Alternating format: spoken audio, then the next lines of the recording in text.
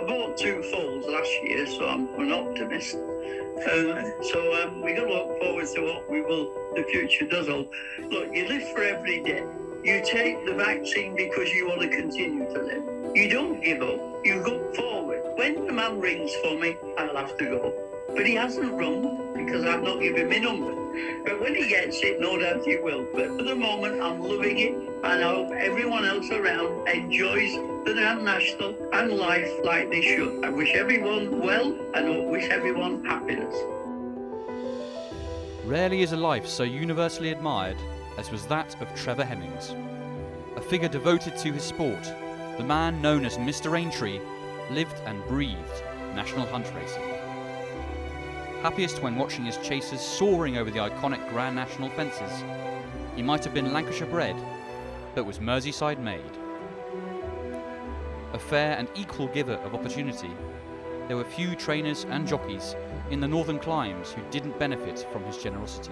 He's going to be irreplaceable, you know. Um, I, I, can't thank him enough for stuff, things he did to me, letting me ride nice horses, and I rode my first festival winner for him on a homebred that he, you know, uh, for Tim Easterby. So, um, and, and no matter what the race was, whether it was a small race or a big race, he always said, look after yourself on the horse, mm. which was testament to him. I mean, there was never any pressure riding for him and you just enjoyed riding for him. So yeah, it, it's um, it's a sad day, and he'll be sadly missed.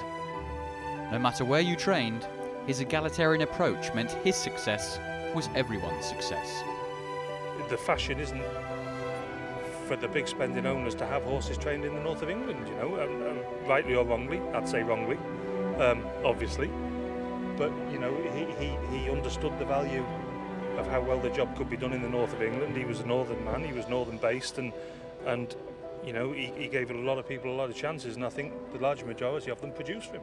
The former bricklayer laid the foundations for a burgeoning racing empire in 1985, with his first winner coming at Bath for trainer Charlie Watson. But although the flat held its appeal, for Hemmings the thrill of the obstacle was always far more attractive. And although football was another of his passions, the acquisition of Preston North End exemplifying the fact, it was racing that took up the brunt of his time. His love affair with the Grand National began in earnest with Hedgehunter, whose fall at the final fence in the 2004 edition did little to deter horse or owner from a second attempt.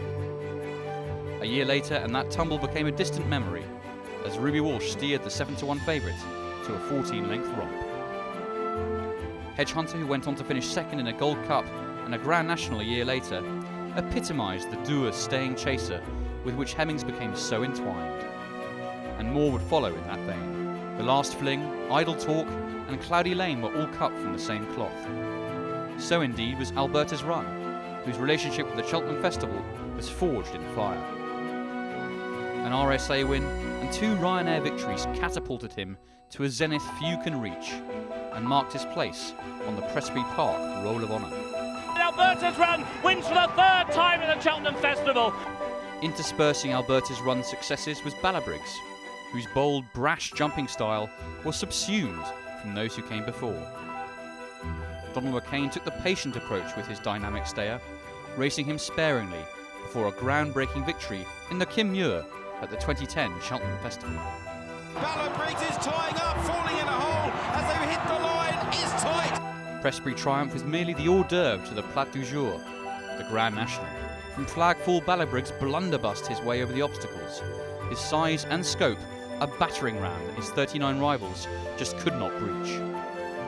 Coming to the elbow, it was clear he was about to give Trevor Hemmings a second win in the race and clinch him a memorable gold medal in the Owners' Championship. It's tribute to him, really, that I mean, a lot of big names in racing, and I only speak highly of him. Um, and yeah, I, I wrote a lot of winners from for, for, for varying different trainers. Um, yeah, he, he supported a lot of people and, and, and gave a lot of people chances.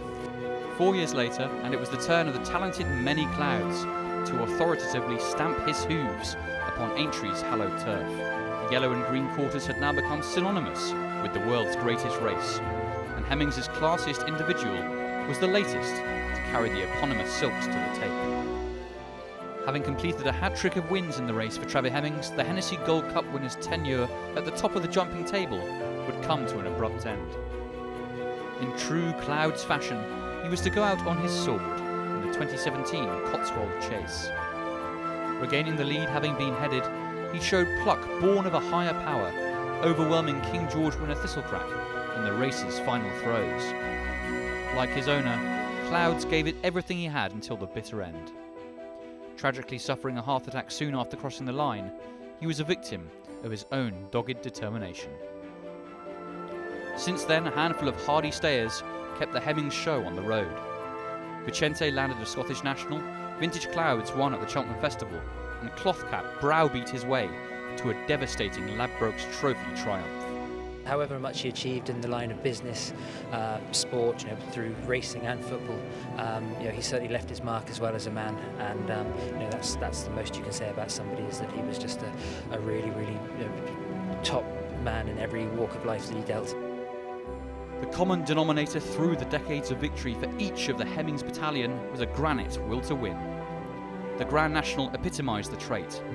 Criteria required for such a test flowed through many of his talented chases and came to fruition for Hedgehunter, Ballabriggs, and many clouds.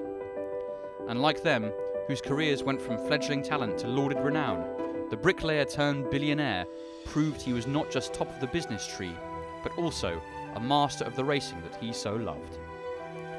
His generosity and kindness transcended the generations, and his love for the horse bore through both in his homebreds and in his passion for the raw thrill of the steeplechase. Like many clouds, his most talented champion, Trevor Hemmings, is no longer with us. But his legacy and memory will live on long into the annals of racing history. He was always very good with my mum, etc. To be honest, you know, after she lost dad, they always, him and Catherine always looked after her fantastically at the races and so on. And um, you know, it was just, it's a, it was a pleasure and a joy to be part of the whole Trevor Hemmings experience.